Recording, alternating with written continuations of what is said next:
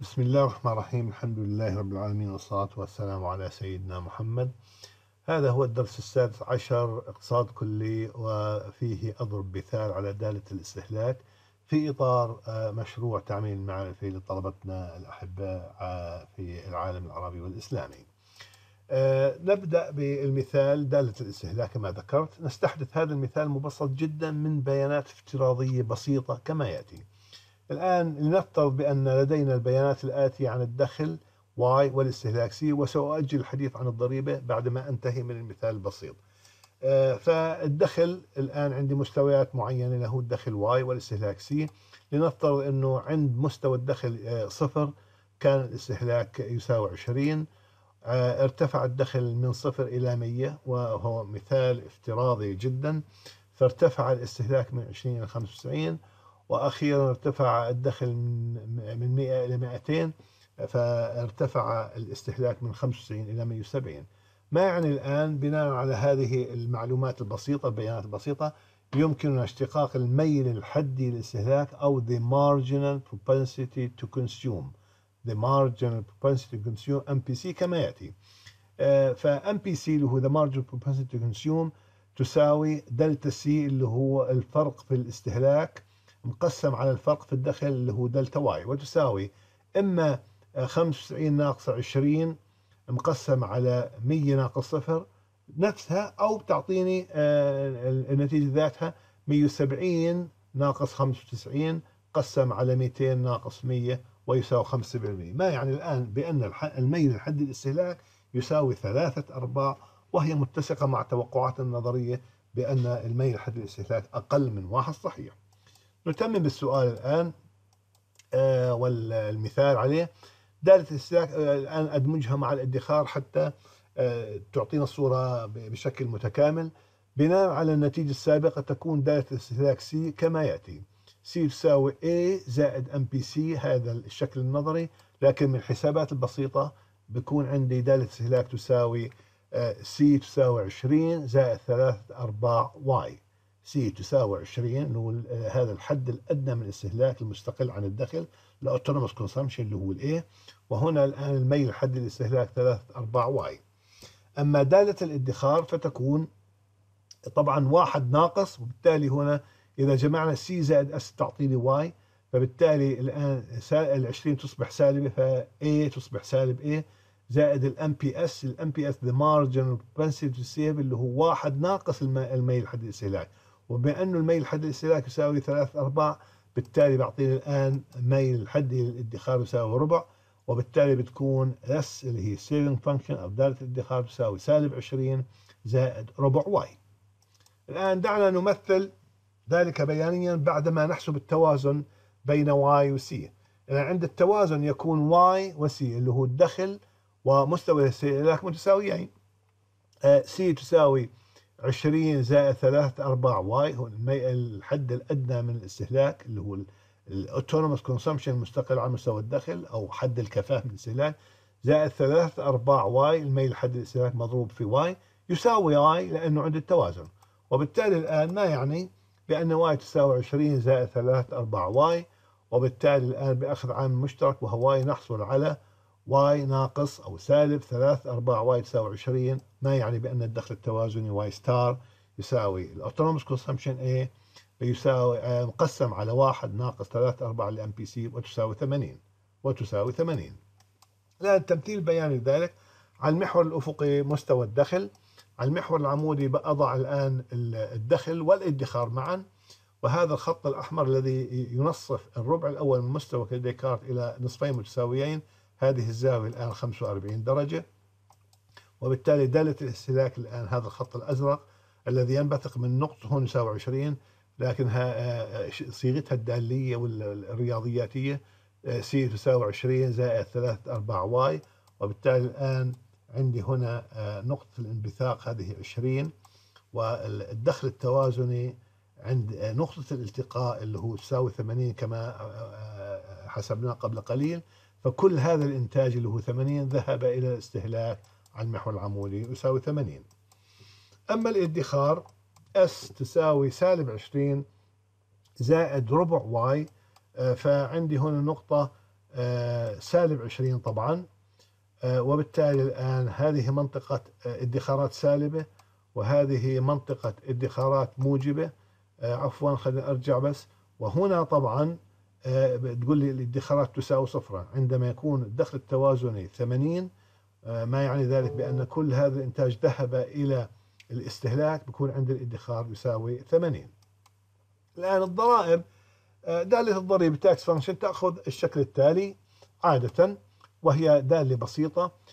T اللي هو مجموع الضرائب تساوي T sub A ال autonomous taxes أو مستوى الضرائب التي تجبيه الحكومة بصرف النظر عن مستوى الدخل Y ونجمع لها أو مجموع لها plus أو زائد the marginal tax rate اللي هو الميل الحدي للادخار أو معدل عفوا الميل الحدي للضريبة آه، اللي هو the marginal tax rate أو المعدل الحدي للضريبة مضروب في Y هنا إجمالي الضرائب T آه، الضرائب المستقلة عن الدخل T sub A والميل الحدي للضريبة الميل الحدي للضريبة t والآن حاصل ضرب الميل الحدي للضريبة في الدخل يساوي ما يسمى بالضرائب المحفزة أو induced taxes. هذه دالة الضريبة بشكلها المبسط طبعا. الآن لنفترض بأن دالة الضريبة أخذت الشكل التالي. تي تساوي 10 هذا الحد الأدنى من الضريبة. The marginal tax rate أو المعدل الحدي للضريبة يساوي 5% من آه، وبالتالي induced taxes هي 5% من y آه، باستخدام دالة الاستهلاك السابقة التي توصلنا إلى حلها قبل قليل اللي هو 20 زائد 3 أرباع واي. وبالتالي كان آه، كما ذكرت بأن آه، الدخل التوازني كان 80 وذهب كله إلى الاستهلاك ومقداره 80 فالآن ندمجها مع بعضها البعض. لنفترض الآن C تساوي 20 كما ذكرت قبل قليل تساوي زائد طبعا 3 أرباع Y. لا يمكننا دمج دالة الضريبة مع دالة الاستهلاك آه، لينتج دالة استهلاك جديدة. دالة استهلاك جديدة تعتمد على الدخل المتاح. أذكر أحبة الطلبة بأن هناك فرق بأن هناك فرقا بين ما يسمى بالدخل الإجمالي اللي هو ال gross income والدخل المتاح اللي هو disposable income كما يأتي. الآن C تساوي 20 زائد 3 أرباع. الآن آه، كنت في الحالة الأولى أتحدث عن gross income أو دخل إجمالي مقداره Y فكنا نضرب ال MPC الميل الحد الاستهلاك مضروب في Y الآن ال MPC الميل الحد الاستهلاك مضروب في ال disposable income اللي هو الدخل المتاح اللي هو الدخل الإجمالي مطروح منه الضريبة. وبالتالي الآن إذا أدخلت آه، دالة الضريبة بالقوس السابق اللي هو Y ناقص T فالآن تأخذ الشكل التالي الصريح هذا.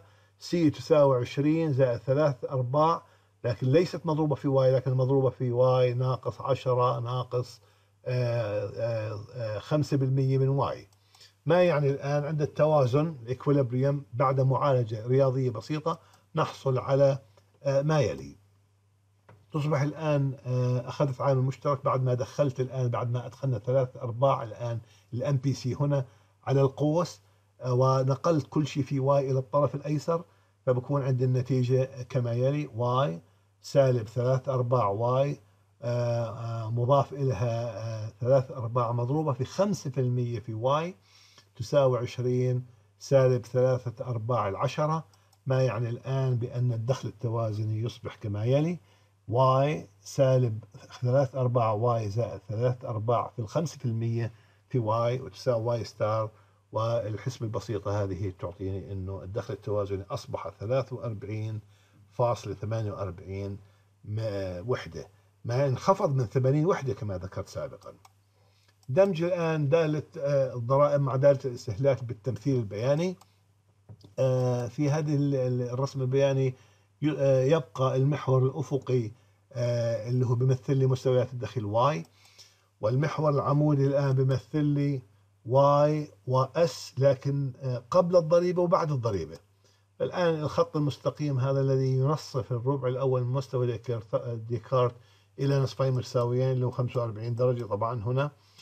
ودالة الاستهلاك الأولى شكلها C تساوي 20 زائد 3 أرباع Y قبل إدخال آه، الضريبة. وقبل أن تدخل الحكومة على الآلة الاقتصادية وتجبي ضرائب. الآن عندما دخلت الحكومة وجبت ضرائب الآن نتعامل مع ما يسمى بال disposable income.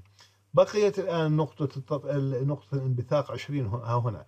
لكن التقاطعات على في الخط المرجعي اللي هو سي تساوي هنا آه، أصبحت مختلفة.